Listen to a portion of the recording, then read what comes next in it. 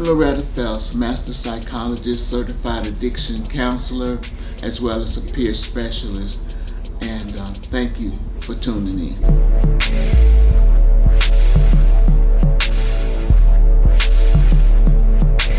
My name is Naomi Julian. I am the CEO at Anise Incorporated. We are an agency that offered uh, psychosocial support to individuals that are HIV positive. We also offer PrEP treatment to individuals by training. I am a social worker. Uh, I'm also a certified uh, counselor and also certified in domestic violence.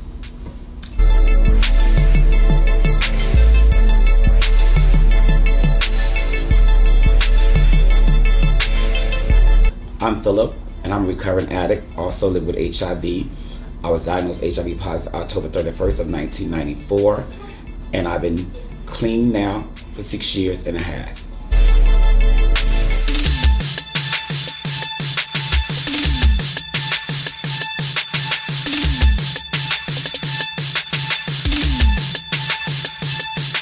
Welcome to What's Happening in These Streets. I'm Loretta Phelps at the location of Madam C.J. Walker Museum in the Atlanta area.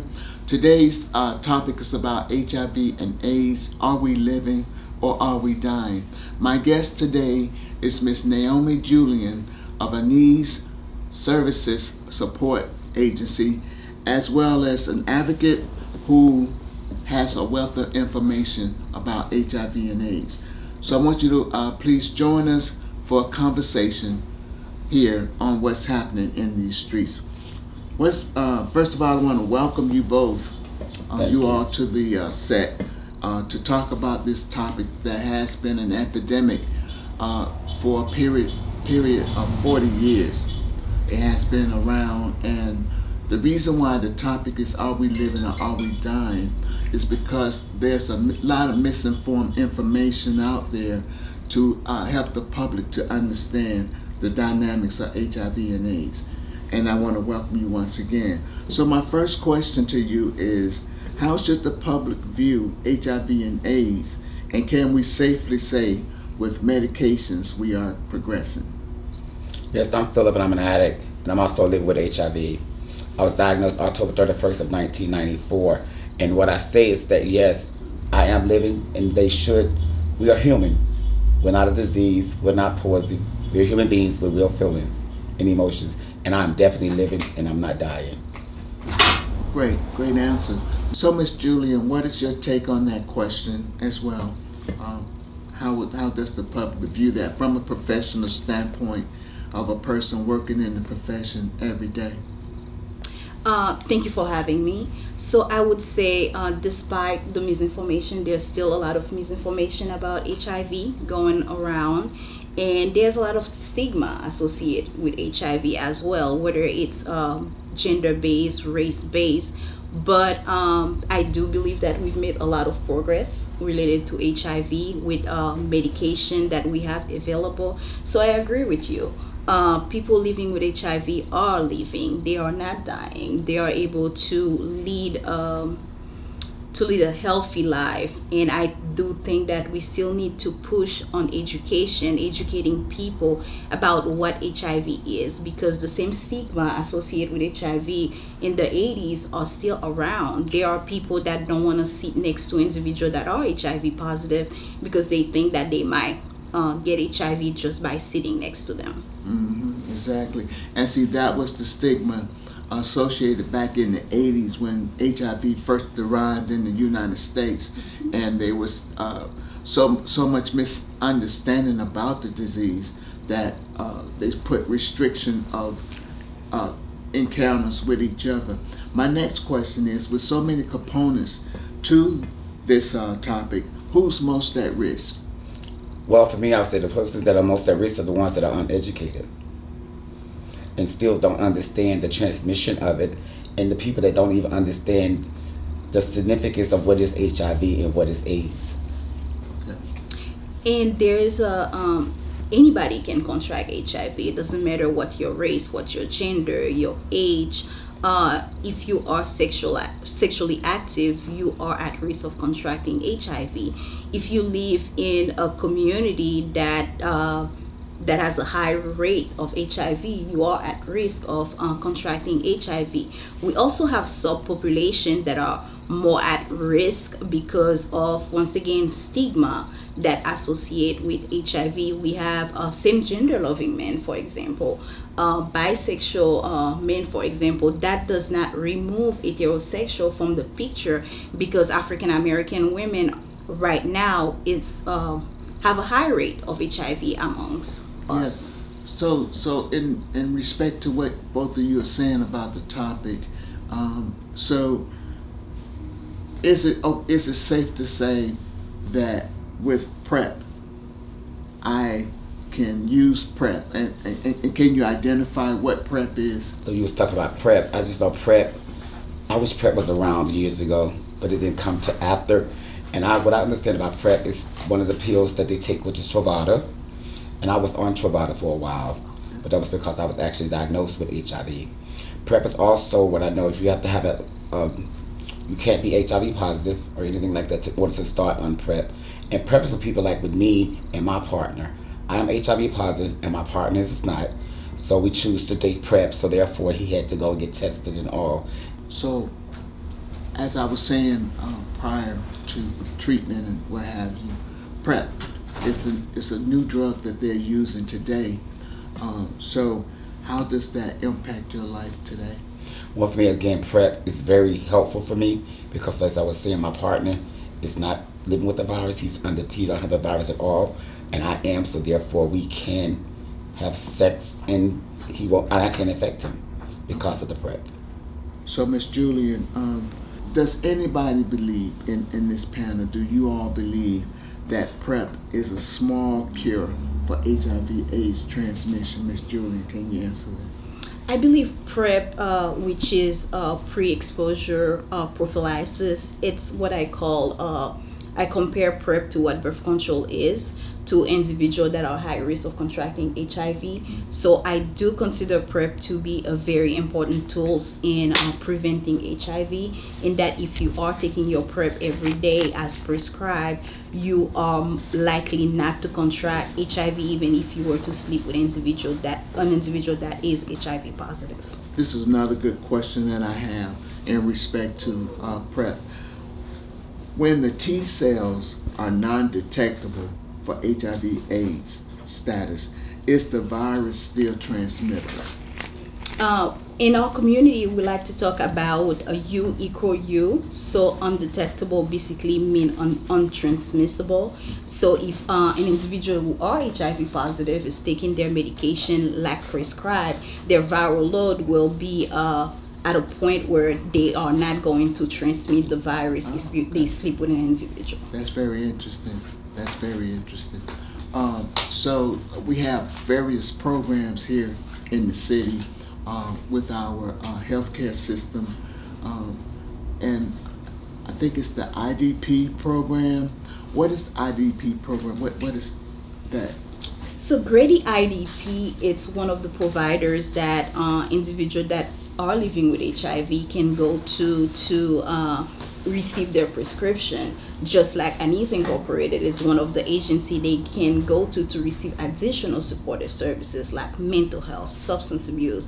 Because for a long time we've treated HIV as a medical only um, uh, disease, but it's so much more than that. Mm. Individual that are uh, that are HIV positive need additional support like mental health, substance abuse, like you mentioned, you being uh, having addiction um, issues. So having the supportive system to help you through that kind of help you. Correct me if I'm wrong. Stay on your medication. Yes. Yeah. So basically, uh, the HIV, the substance use. Uh, ties together and being promiscuous, can I say, being uh, with substance use, can I say that that is a high risk for individuals to contract the HIV yes. because of promiscuous sexual behaviors? Yeah, just because of that as well, and even me being a recovering addict, and living with the virus, when I was using, it wasn't about telling people my status. Mm. It wasn't about taking the medications.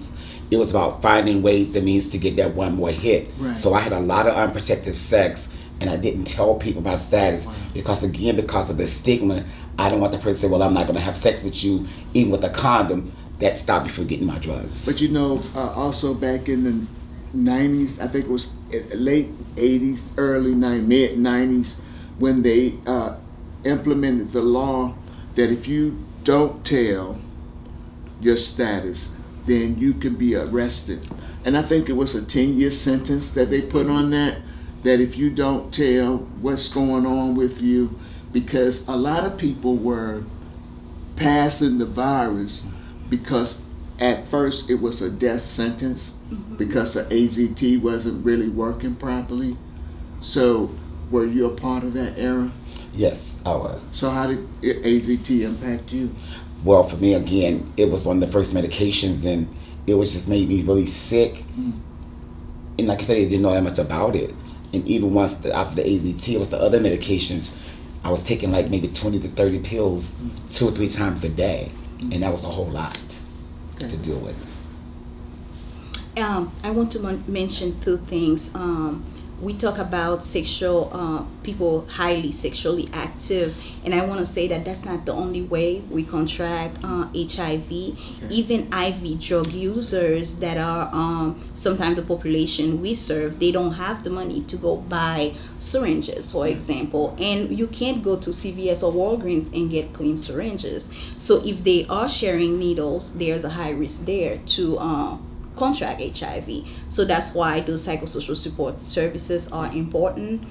Um, another thing that I want to touch on is uh, due to social stigma. Uh, the way HIV is perceived is ca- actually a hindrance to individuals that are at risk and individuals that are living with HIV. Really, But you know, uh, Ryan White, are you all familiar with Yes. Ryan White's story? And Ryan White was a young individual who had a drug, I mean, a blood transfusion. And, and because of the contamination of the blood, because they wasn't really uh, monitoring the blood work that people were donating at that time. So those who were infected were still donating the blood. Um, and it's, what is it called? Um, the blood disease, I can't, I can't remember, Hemophilia. yeah, Mhm. that. Okay, and so by this young man being uh, uh, identified with hemophilia, and in elementary school, he couldn't get the type of treatment because the treatment wasn't provided, just like HIV treatment, uh, just like substance abuse treatment. I'm sorry, but the substance abuse treatment wasn't available either at that time. So all those things tied in, and because of lack of knowledge within a community, a whole community discriminated against this young white guy, young man, right? So uh, I'm saying all that to say that uh, HIV, like my question was, are we living or are we dying? How would you view that with all this information you've given? How, how, how can you say that a person can live a very healthy lifestyle? Well, for me, again, first and foremost, I had to get the substance abuse under control for myself because I struggled for 27 years and I've been knowing my status for 27 years. But I'm real grateful to say I sit here today with six and a half years clean. Cool. And I'm also undetectable. Uh-huh. And it's because I got rid of the drugs and I was able to get the medications. And I have a substance abuse counselor, mental health, and all that to talk about my issues. And I go to the 12 step program. Very good, very good. Uh, to answer your question, I would say uh, we are definitely living uh, individuals that are living with HIV, and the reason I say that is because uh, when you are diagnosed, you have to make sure that if you are taking your medication, you are more aware of the type of food you are eating. You are more aware of the type of risk that you can be exposed to. And also, let's talk about all the innovation that when it comes to medication, you went from taking 20 something pills to taking one or two pills uh, to keep your medication under control, uh, to get your virus, like your viral load under control. Yes. And one of the most beautiful things, um, recently FDA just approved um, shot for HIV. You Okay. can take it for 30 days You- Oh. instead of taking your pills every day. You can take it every 30 days and maintain your viral load where it needs to be. So I want to ask this last question. With COVID 19, the impact in our society, and HIV would be one of those underlying conditions. As far as you are concerned, um, Ms. Naomi uh, did that impact the treatment of those who are affected? Did, did COVID have any impact on them? Yes, a lot. In the beginning of COVID 19, for example, from uh, April 2020 to beginning of May, there was a shortage of supplies for NHIV medication. Okay.